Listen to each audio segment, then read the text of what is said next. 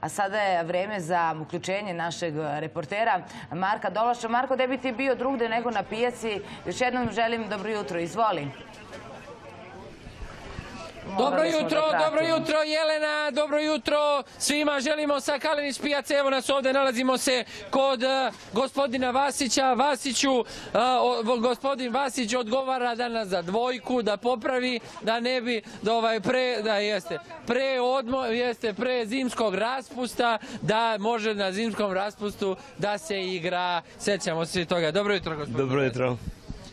Pošto su orasi, 800 i 400 ljudski. E, ovdje smo specijalno zbo, po ovom zadatku. Znam da sve žene traže jeftine orahe, ovo je pravi domaći orah i ovdje je na Kalenić pijaci kod glavnog ulaza a, sa donje strane o, orasi 800, je li tako? Da, da, 800. Osam- Odakle su?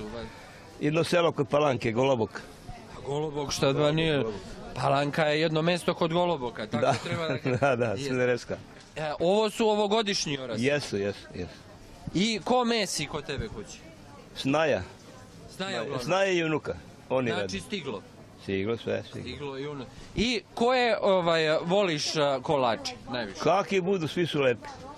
A dobro, ti si sad ovi političari ovi naši. Ali voliš najviše, koji najviše voliš? Pa kakvi sprene, svi su lepi. Ej, Da, pa dobro. Pa reci meni, nema... Pa krofne najviše suvi, tako te. Krofne, e. I ovi, i ovi, one male, one, kako se zovu. A sa ora, a ko